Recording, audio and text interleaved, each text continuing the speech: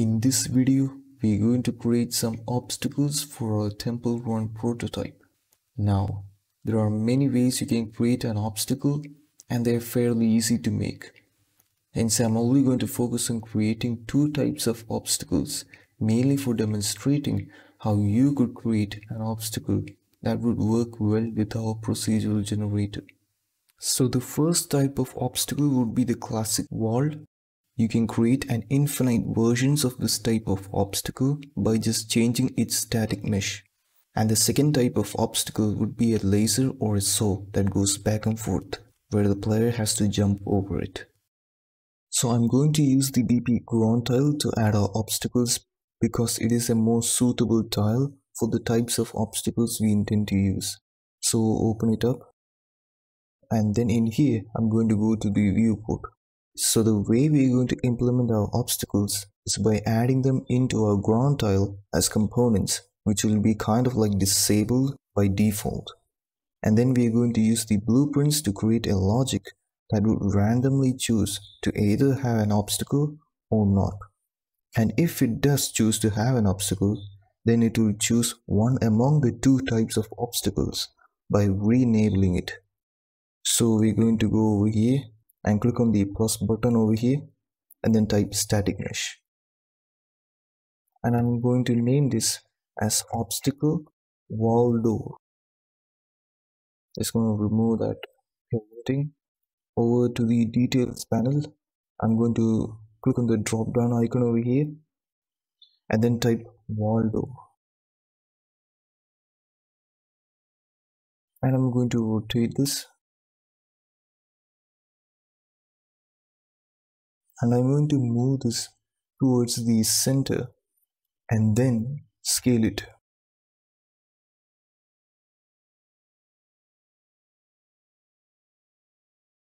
After this, I'm going to click on the add button over here and then type static mesh again.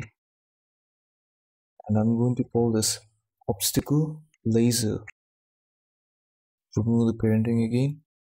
So yeah, so this this component over here this static mesh is going to be our laser obstacle. So over in the wall door. I'm just gonna i'm going to disable visibility so that it's easier for us to kind of deal with this with this obstacle. And in here click on the drop down button and type pillar the pillar static mesh and then i'm going to rotate this. Then i'm going to move it up and then position it at the center because unlike the other obstacles we need to move this mesh back and forth. So we need some space for that. I'm going to change the perspective to top set this to light and i'm going to scale it. Go back to perspective and i'm going to lower this a bit so that our player can jump over it. So once you're done with that you can go over to the event graph. And in here we're going to create the logic.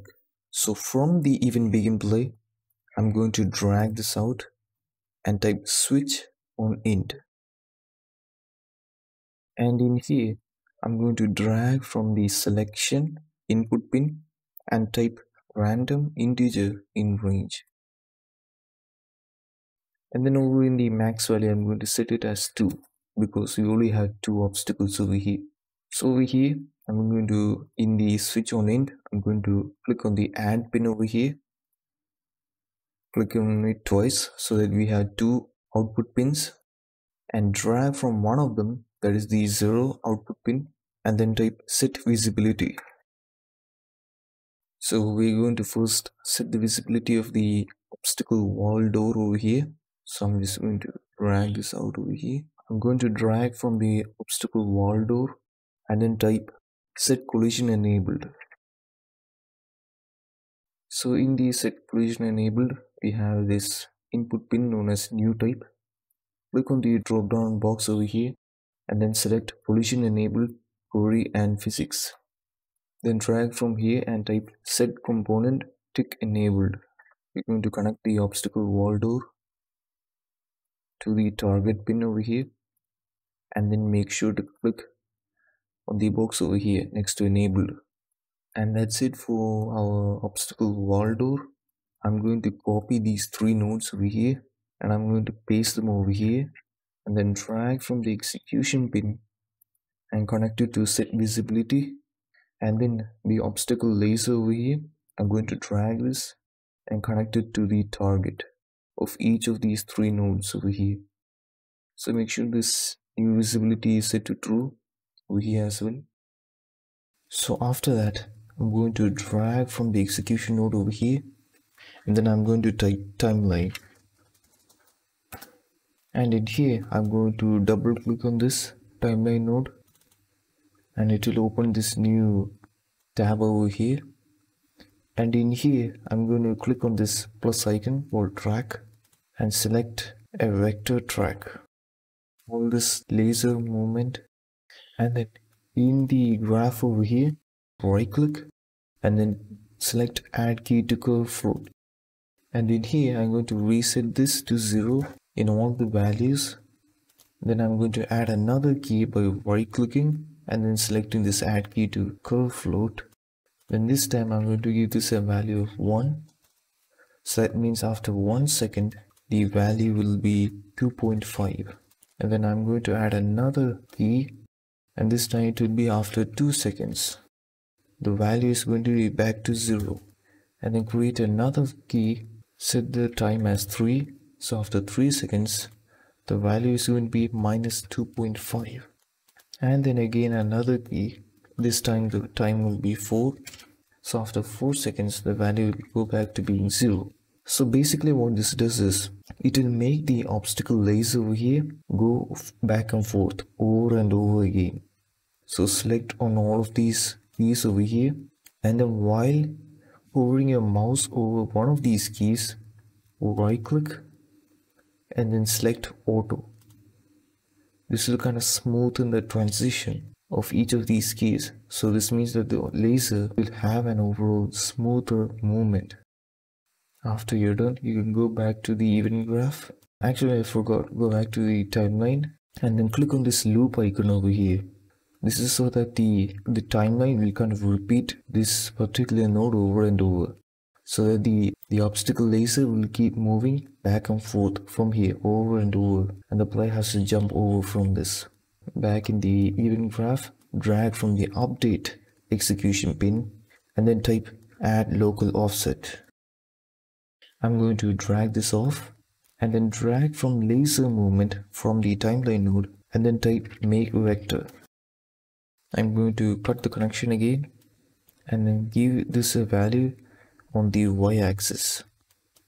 And the return value I'm going to connect it with the delta location over here. The reason we done this is because we want the obstacle to go back and forth like this. We don't want it to go up and down or anything. Just back and forth.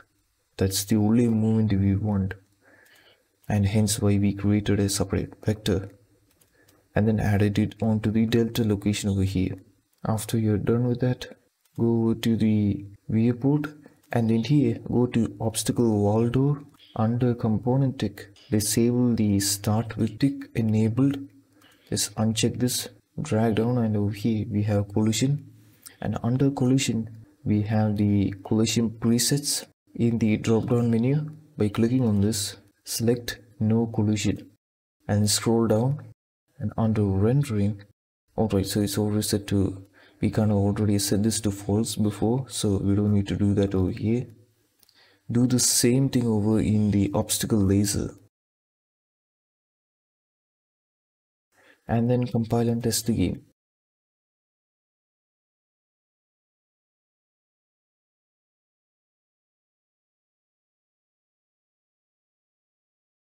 So our obstacles are being generated properly and over here we have our new obstacle. Currently if you were to step on any of these uh, nothing really will happen. We still haven't added the uh, logic to kind of destroy a character so we had to add that next but yeah with this you can really you know, create your own obstacles like the main point behind creating this is to just give you all an idea on how to create your own obstacles. And over in the event graph i'm just going to quickly explain how this works.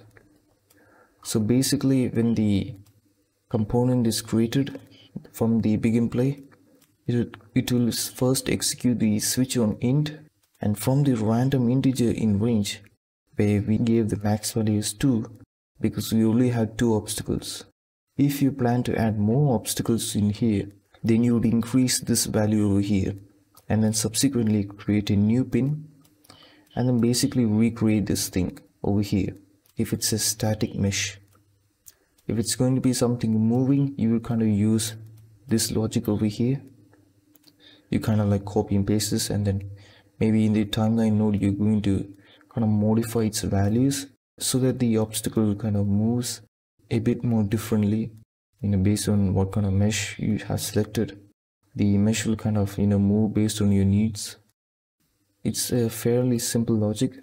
So when you execute this logic from the random integer range one of these values will be selected so that would be 0 1 and 2 if uh, from the random integer range the value is 2 then basically there will not be any obstacle. So that's why the default over here is set to nothing so that there will be no obstacles. We don't want every ground tile to have an obstacle. We want some of the ground tiles to not have any obstacles. That's basically how you create an obstacle and this works just in about any other tiles so you can make this work in any other tiles over here and it should still work fine. But yeah that's it. Thanks for watching. See you later. Bye